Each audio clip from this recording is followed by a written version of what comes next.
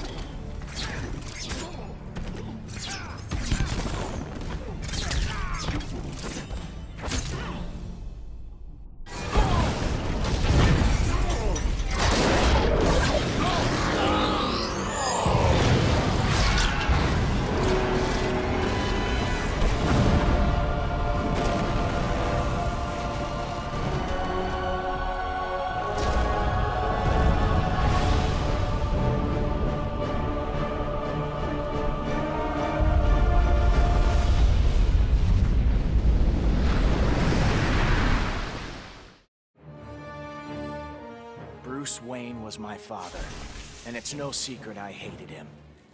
But despite all that, he sacrificed himself to save me, giving me the chance to stop Brainiac permanently.